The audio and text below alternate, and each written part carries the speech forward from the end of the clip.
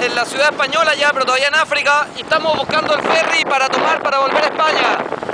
Hoy día salimos de Marruecos después de un par de horas de aduana, una aduana bien tóxica, y ahora estamos ya dando entre la ciudad española, buscando dónde está el ferry para poder cruzar. Eh, por allá se ve, allá está el mar, que es el mar Mediterráneo. No sé si lo alcanzan a ver, yo creo que se ve poco. Y por ahí está Bruno. Y acá estoy yo. Vamos, motito, vamos. Shit. Casi se me apagó porque estoy manejando sin embrague. Bueno, eh, esperemos tomar, miréis la banderita española. Esperemos tomar el ferry luego para poder llegar a España e ir a visitar a mi primo Pedro Harrison, que obviamente nos debe estar esperando con un carrete, porque este es más prendido que nosotros.